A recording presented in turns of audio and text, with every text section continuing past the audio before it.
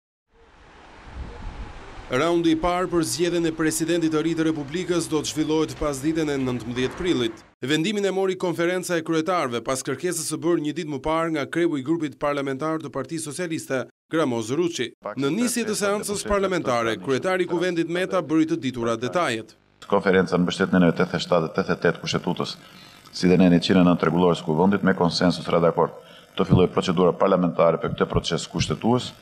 Konferenca caktoi si datë të zhvillimit të raundit të parë të votimit ditën e mërkurë, data nëntëmbëdhjetë prill dy mijë e shtatëmbëdhjetë, ora tetëmbëdhjetë. Procedurat e detajuara sipas Kushtetutës dhe Rregullores do të publikohen në faqen zyrtare të Kuvendit në njoftimin për shtyp të Kuvendit të Shqipërisë. Katër vjet më parë, dy aleatët kryesorë në qeveri, Rama dhe Meta, bënë pjesë të marrëveshjes mes tyre edhe zgjedhjen e Presidentit të Republikës.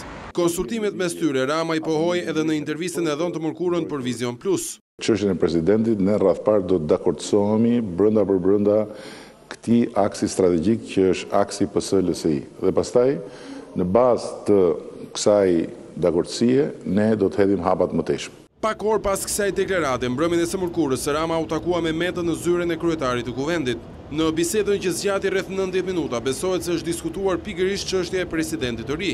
Si Partia Socialiste, ashtu edhe LSI-ja kanë bërë të ditur më herët se kanë emra për t'i propozuar për postin e presidentit.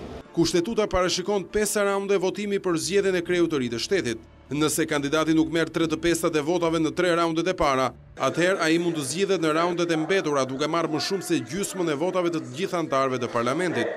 Dështimi me zgjedhjen e presidentit sjell shpërndarjen e Kuvendit dhe zgjedhje të parakohshme. Por mazhoranca aktuale i ka votat për ta realizuar këtë proces.